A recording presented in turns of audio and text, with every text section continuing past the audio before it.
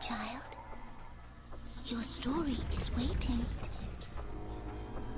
The world that was has changed and grown. So will you. Choose your fortune.